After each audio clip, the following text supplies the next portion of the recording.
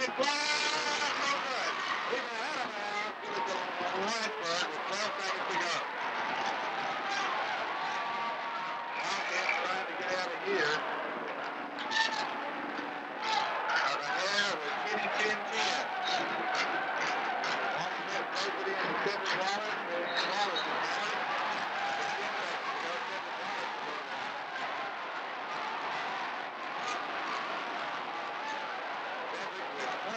With